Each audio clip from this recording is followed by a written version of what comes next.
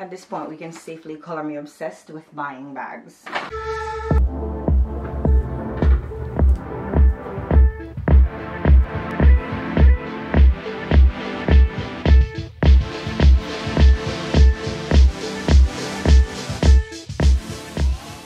Hi y'all, happy Friday. I made an appointment earlier to go get my nails refilled because they're going out, even though they haven't really grown out too bad, but they're growing out and one of them were lifting this morning and once they start lifting, it's not good.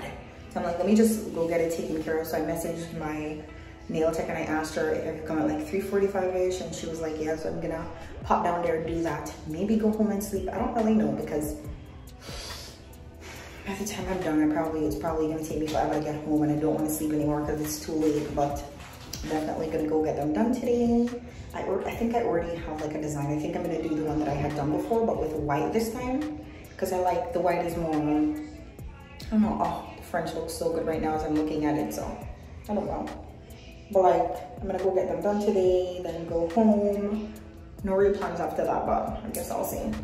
Hi y'all, I'm trying to make sure that I'm consistently checking in and vlogging. I just left work about an hour and a half ago and now I'm on Jamaica Avenue because I came down here with Jules because she had a nail appointment at my nail girl that I recommended her to. And I'm really hoping that she has a positive experience because if she don't, I'm not going to hear the end of it. Just the same way how when I didn't have a positive experience, she would not hear the end of it. But I feel like she's going to have a good experience because the girl is Caribbean and it does show that she actually knows what she's doing. Um, we got some Chipotle for like this is not lunch. This is dinner at this point. And then um i was promised that i was going to be cooked for. However chipotle is busting and i'm sure about the chipotle so i'm like you know whatever let me just take the chipotle and run with it.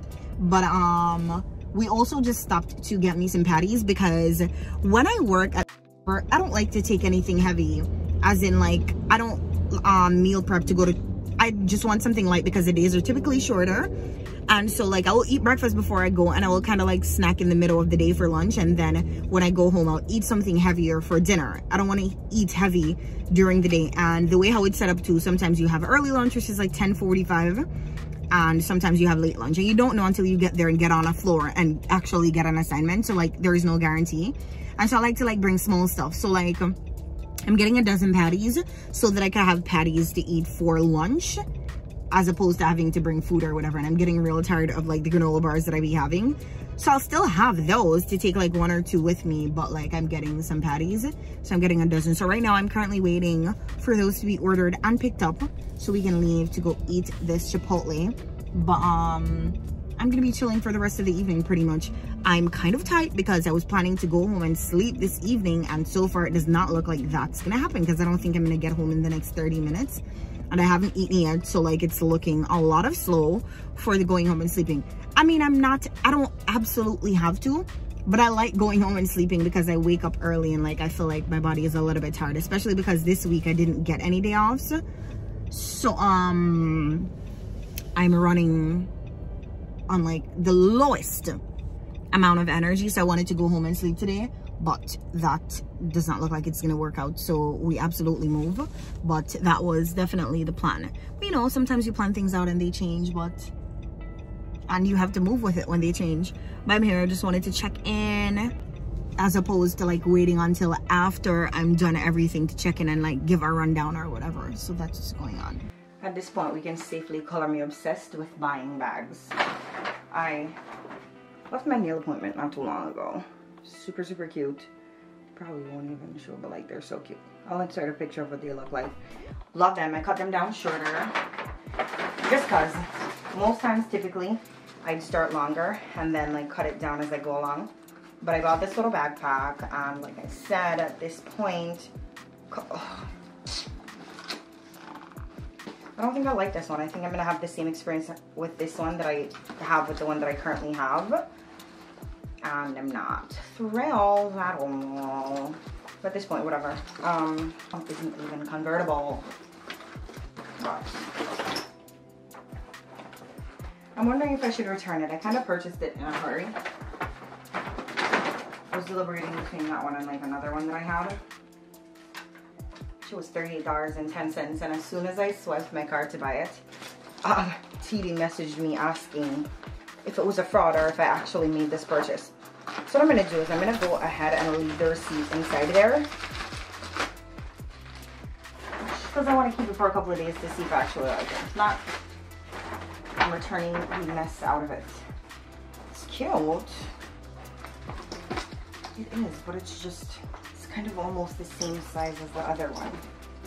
Even, let me show y'all what it looks like before I actually put it on. It's Steve Madden. I had a different Steve Madden one before.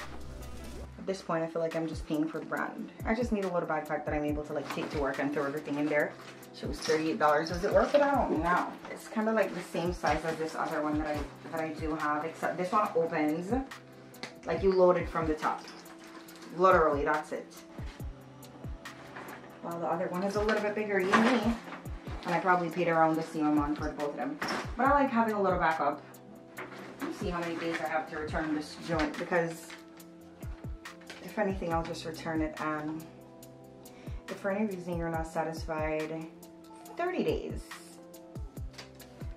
All right, so I will leave it in the receipt inside of the bag so I know where to find it. And I'll see. Oh, so we'll see. I'm not even gonna complain about the $38 because I was looking on um on Macy's to buy one and it was a hundred and something dollars. The one that I was gonna buy, so that's great. Okay, if I don't love it, I'll it back. I'm turning into Julissa at this point. I think I need to find something to eat because I'm starving and I literally have nothing to eat. I bought these satin bags for like my wigs and like my hair and stuff and I haven't gotten around to putting the wigs and stuff into the satin bags. So there's that. But I'm gonna take my hair down and shower and wash my hair because I'm tired of wearing my hair like this. And because I hadn't, because I skipped my day off this week, I didn't get to wash it because I was planning to wash it on my day off. But this is what she's looking like in two braids. They're not my favorite. Not as low maintenance as I thought. So I'm gonna take them down and then um, wash my hair, shower, maybe find something to eat. I should have stopped at the store just now, but I decided against that. I mean, I did go in there. One of the items that I wanted, they didn't have, so I didn't even bother walking around. I'm like, whatever. I wanted to buy some hangers. So, um, I just came out. But yeah, I'm going to take my hair down, wash it, find something to eat, whatever that's going to be at this time of the evening. Who knows? And yeah.